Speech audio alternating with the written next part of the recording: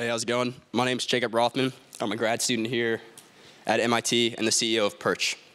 So I would like everybody to take a quick look at their wrists. You're probably wearing some type of fitness tracker or have worn one in the past. This market has become ubiquitous uh, in American culture. And this is because uh, American consumers of all fitness levels want greater insight into their progress and their workouts.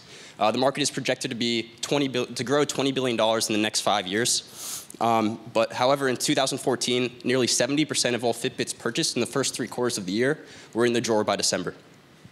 Uh, we believe that this is because these fitness trackers are not measuring uh, the right type of exercises. And at Perch, we're trying to change that.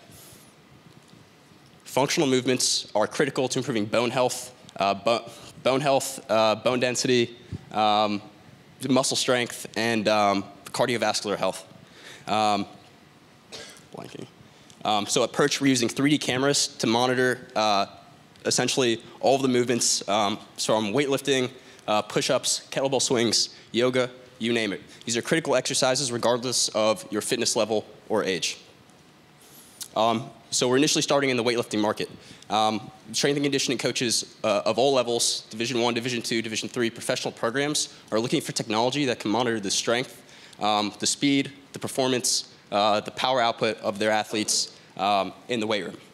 Um, we can easily do this by mounting 3D cameras to weight racks uh, to track all this effortless, effortlessly without monitoring or without changing the workflow um, of, the, of the weight room, of the workout.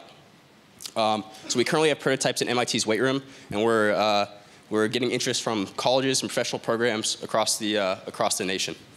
Um, but we won't stop there. Imagine a device that can monitor your yoga routine, determine where you lack flexibility, and then uh, tailor a workout specific to you to allow you to uh, increase and improve faster.